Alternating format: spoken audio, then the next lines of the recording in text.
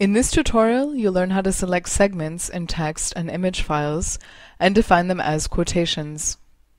Along with learning about different ways to create quotations, you'll also receive a brief overview of the Quotation Manager. To start out, we already have a primary document loaded, and to mark a quotation, simply drag your cursor over it while holding down the left mouse button.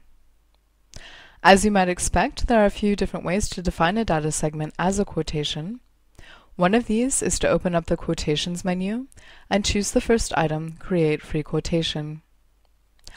I'll mark another data segment by double-clicking on it to highlight a word, again to highlight a se sentence, and a third time to highlight a paragraph.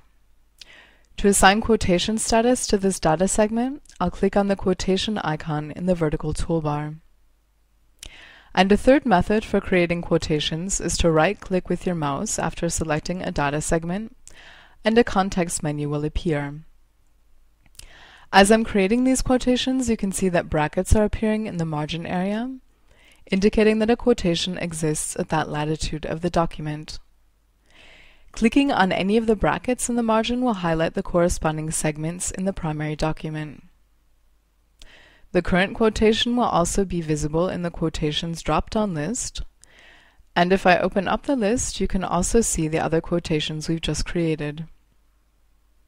To write a short note to yourself about any quotation, perhaps just a keyword for a possible code, you can right-click on a quotation bracket or on the quotation itself in the primary document and select the item Edit Comment.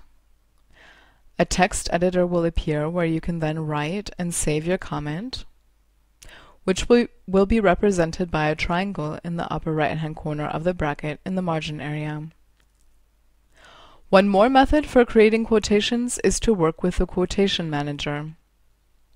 I'll open up the Manager, select a data segment, and drag it into the Manager pane, where it will be automatically defined as a quotation. The quotation is listed according to its primary document number, followed by a colon and a number or indicating the order in which it was assigned in the document. When creating quotations using the Quotation Manager, you can simply toss them into the Manager pane, and the Quotation Manager will do the work of catching and ordering your quotations for you. When working with your quotation manager, double-clicking on a quotation name will automatically load the corresponding primary document and display the marked quotation in its context. Now we'll look at selecting segments from a different type of data. Creating quotations in an image file is just as easy.